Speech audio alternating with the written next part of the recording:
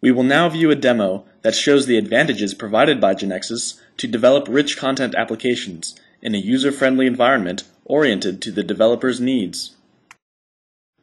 Let's suppose that we're asked to develop a software system using web technology to automate the tasks of a company dedicated to selling products. In short, a billing system is needed. So what we need to do is describe the company's reality using Genexus objects. Building on this knowledge, Genexus will automatically create the database and generate the application programs for us. To do so, we start the Genexus development environment. Here is Genexus's integrated development environment. It's a cutting-edge IDE with a look and feel that is familiar to developers, and which has an extensible architecture that allows them to add components and capabilities to the Genexus copy that was originally installed.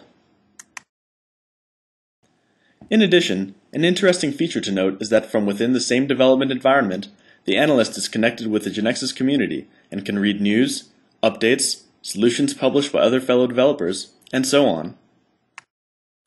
To start working with Genexus, the first thing we have to do is create a knowledge base.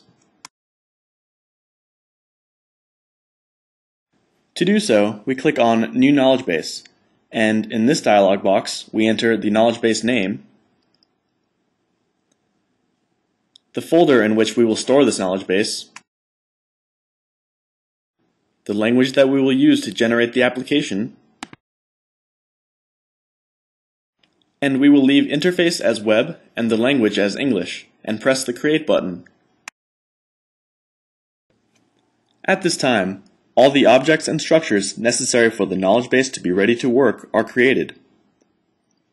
Genexus configures these objects and starts them with default values that we will be able to change and customize later, modifying our application's behavior and appearance.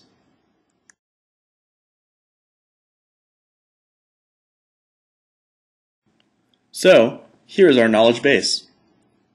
Note that the knowledge base navigator has several objects created by Genexus.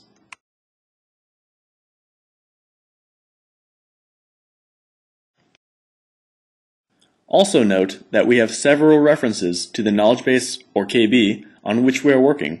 For example, here in the knowledge base navigator, we have the name and date of creation, and also in the status bar which displays the complete path where the KB was created. We have been asked to create an invoicing system. That is to say, we will have to enter invoices. The Genexus object, used to interactively enter and edit data in the database, is called the transaction object. Therefore, we will have to create an invoice transaction. Let's click on the New Object link.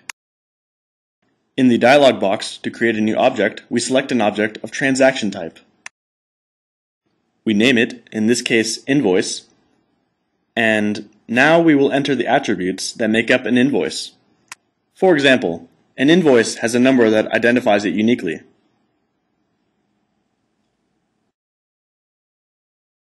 Let's say an invoice ID of numeric type.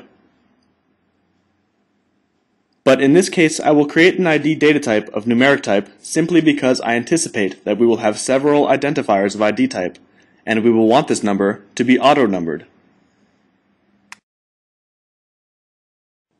An invoice also has an invoice date.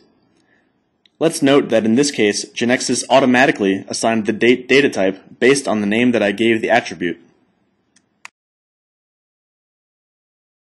An invoice also has a customer.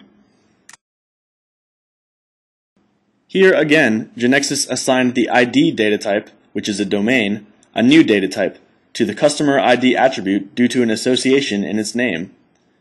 This is knowledge that was stored in the knowledge base and now Genexus is using it. Let's create the customer name. Here, I will create a name and a data type, which is a character of 30. So far, we have created the fixed part of the invoice, that is to say, the invoice header. Now, we will enter the details line, which contains the products to be invoiced. We add a subordinate level, and we give a line identifier to each line.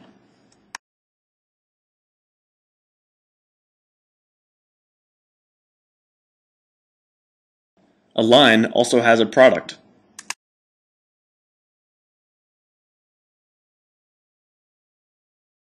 The product has a description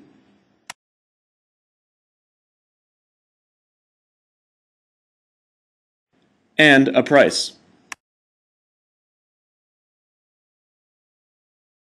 And here I will create a new data type.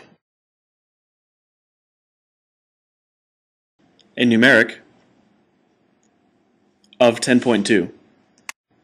These new data types, called domains, give us an advantage because if we later change this domain, all the attributes based on it will be updated automatically. So a line also has the amount that will be invoiced,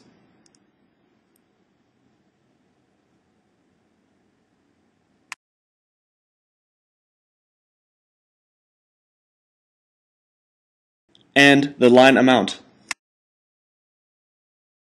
Notice that since the attribute ended in amount, Genexus automatically found that it could be the data type of the domain we had defined. To finish, we add the invoice total.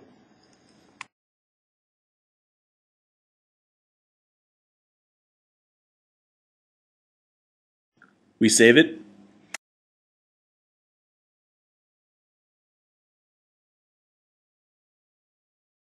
As a matter of fact, the line amount could be calculated by multiplying the product price by the quantity of products invoiced.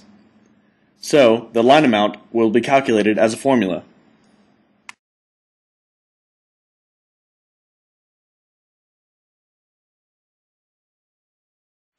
And we define the formula as the product price multiplied by the quantity of products invoiced.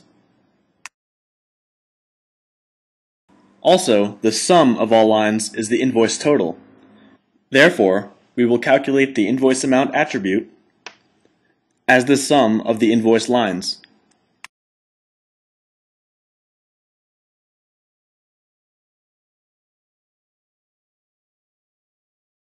We save.